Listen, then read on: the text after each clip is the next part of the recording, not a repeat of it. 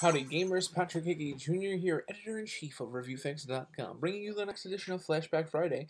And this week out, we are going to be playing The Adventures of Lomax. So, if you're like me, you grew up on the Sony PlayStation, it was kind of like the first system that you played as a teenager, where you could actively make decisions to buy your own games. It wasn't like, oh, mom wanted you to play Mario, you know, the PlayStation was kind of like this wild new world with Crash Bandicoot and all these crazy games, but like there was a lot of really nifty different games out there, and um, Adventures of Lomax was absolutely one of them for me. Um, I adored this game um,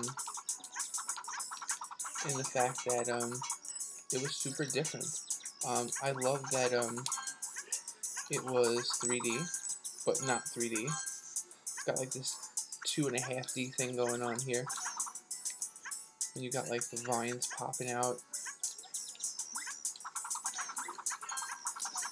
Reminded me a little bit of Donkey Kong Country too. Um, obviously, some lemmings.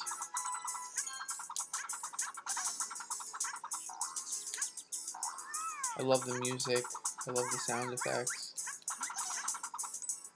You got a couple levels here in the beginning that are super easy, but this is just a beautifully, beautifully designed game. I don't remember it being all that difficult.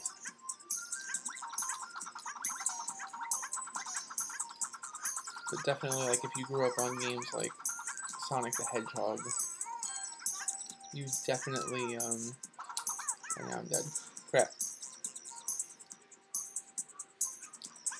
See, if you grew up on games like Mario Brothers and Sonic the Hedgehog, just beyond easy to fall in love with this. And it's just like, it's funny to me because um, I started playing this, I would say right around the time that I, I found, I found Rayman.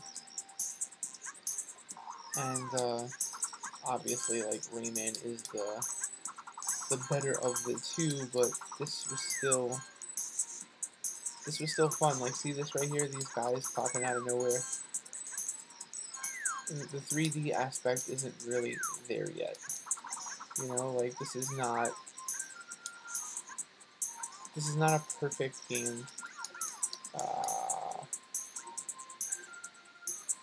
and de definitely rooted in old school gameplay mechanics.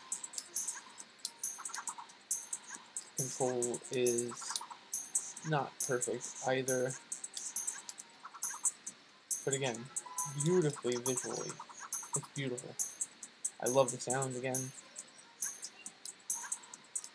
This was just something like that showed up on the PS1. Ah, that I really liked.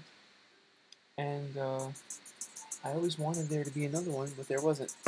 So if you're looking for a really cool, different side-scrolling platformer with some 3D elements at the beginning of the PlayStation lifecycle, definitely one to jump into.